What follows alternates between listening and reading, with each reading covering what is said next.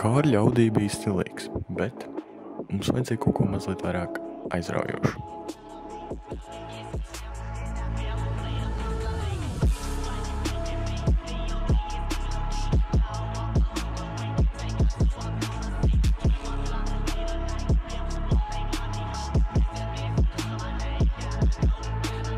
Šis ir naudas, un šis ir viņa 90. gada BMW E36. Šis ir nopietns Winterpīters. Mašīna, ar kuru pa lielam var braukt tikai ziemā un tikai pa trasi. Šādām mašīnām nav tehniskās apskates, un tās nedrīkst piedalīties satiksmē. Tādēļ viņas uz tēleriem tiek vests uz trasēm. Visbiežāk šo BMW var satikt Rūdas kartiņu trasē, kur pa lielam notiek visa trases braukšana Liepājā. Cik ilgi man pieder šī mašīna? Man liekas, trīs gadi. Uh, oriģināli viņa bija zila. Vismaz liekas, ka viņa oriģināli bija zila krāsa.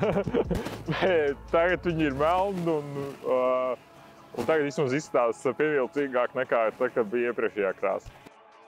Trakākais, kas ir noticis uz trases, pirmo reizi, kad es biju ar šo mašīnu trasē, man salūza tilts izbraucu pirmo līkumu, un ar to viss beidzās. Ar trēlē dabūju piebraukt klāt un vilkt augšā, lai, lai varētu braukt mājās, jo viss bija beidzies.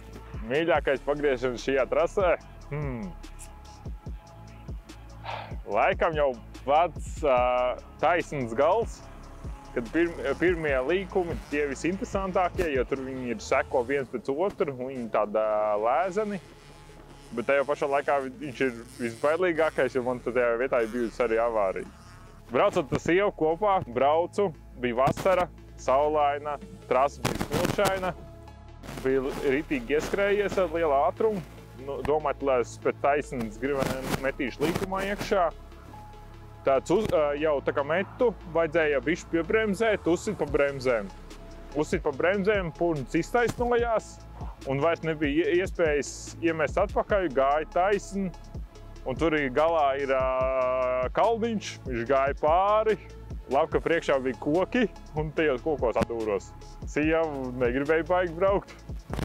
Ja, ja, nu, labi, viņi brauca, bet viņi to, šo, to taisni brauc ļoti lēni. Pašam man arī bija bailīgi bišķi. Katru reizi savā ziņā braucot šo taisni, man ir atgādinājums par to, ka, ka, kāda seks tam bija.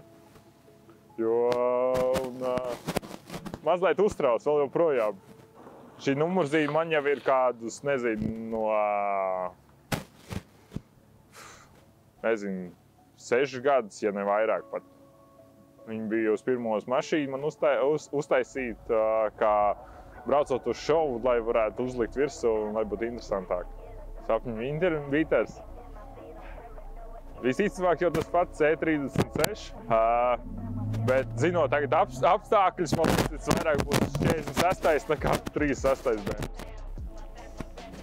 Pirmais jau tas viss sākās ar to, kāpēc vispār iesāku to. Tas sākās ar datorspēlītēm.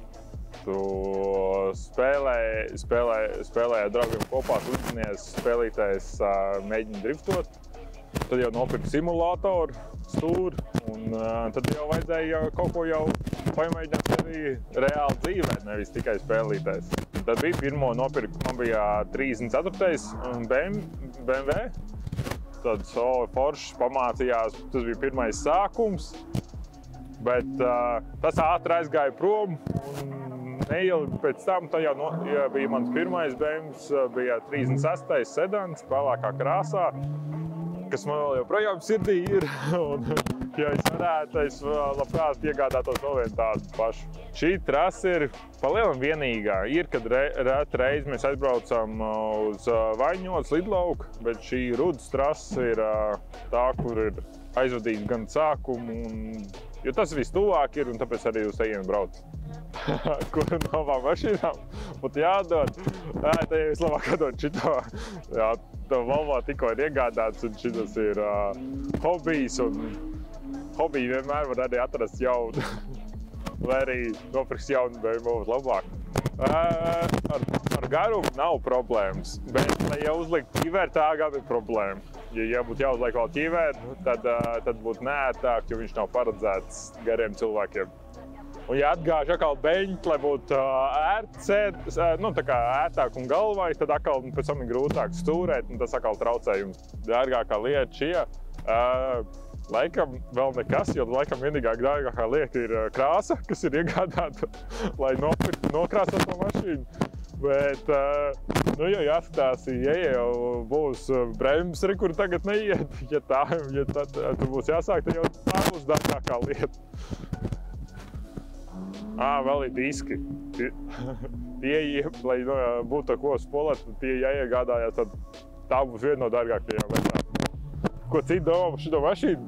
Izrūsēju slamēt, jādod naglās. Bet daudz jau daudz saprot, un oh, galvenais, ka kustās uz priekšu un dara to jautrību sajūtu, kas ir braucot līkums. Tas, tas ir pats galvenais. Saplīs, saplīs, labi, ir uzbraucam uz trēlēru, vedam mājās.